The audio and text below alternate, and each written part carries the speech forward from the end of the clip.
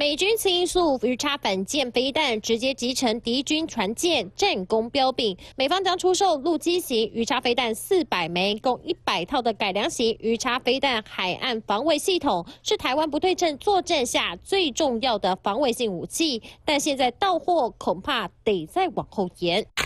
当中鱼叉飞弹海岸防卫系统，马文君也提出冻结两千万，理由是海军现有目标海情直管系统是否需要跟本案飞弹系统整合尚有疑问，因此针对鱼叉原本编列预算四千九百三十一万，冻结两千万，提出书面报告后同意才可动之。虽然鱼叉延后到期，但如果搭配国军现有暗制型熊二、熊三反舰飞弹，击杀共军军舰不是难事。部署这些。机动的反舰飞弹，其实对我们的海防来讲是有很大的注意。初始运行的预算都没有的话呢，你叫这个呃接装的单位怎么样去呃做实际的测试哦，会影响到我们呃武器的系统的接装的时程哦。不止于叉飞弹受到影响，就连舰载型针尖无人机，马文君也提冻结案。而二十五号立法院就将审查一百一十三年度国防部预算，预算三减冻结案一共四百二十九案，马文君提的就高达一百三十五件，包括。前建第二阶段测试的三亿元预算比例超过四分之一，在国民党的委员里面提案高达二分之一，